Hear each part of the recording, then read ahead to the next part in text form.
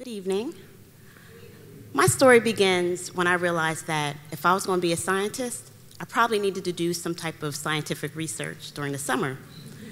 So, during between my sophomore and junior year, I applied for a Society of Toxicology internship for, the summer, and I was placed at Johns Hopkins University. And, oh, all right. Um, and so I get there, and I'm in a dorm with fellow minority students that were also doing summer research.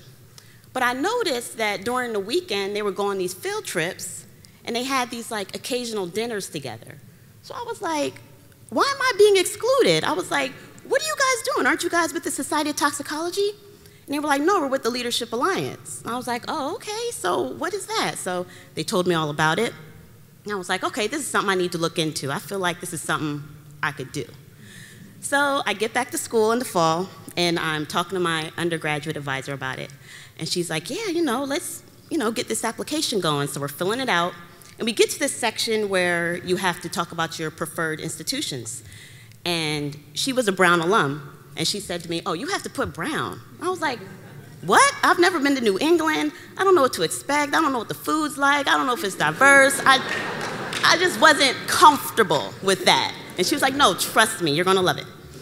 So I fill out the application. Of course, I get placed at Brown.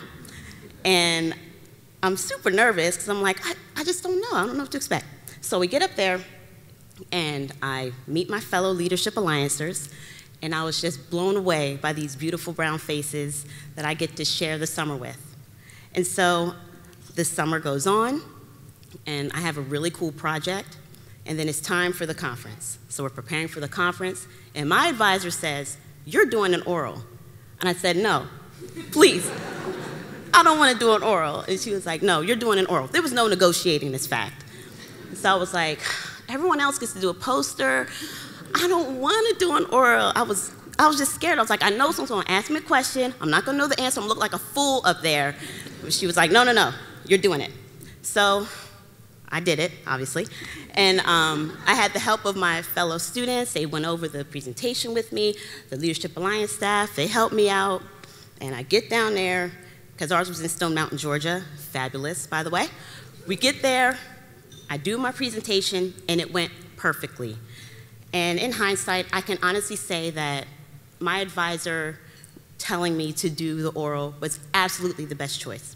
And so, as an undergraduate, I feel like the Leadership Alliance, Leadership Alliance helped to connect me with a network of people that I'm still friends with to this day. I know I can count on them. I can call them if I need some type of career advice or if they have something that they need to share with me or I share with them. I have that network in place already. And as a graduate student at Brown, I was fortunate to be a mentor as well. And so actually my, one of my favorite parts of being a graduate student was actually being a mentor. And so having that experience through the Leadership Alliance was invaluable.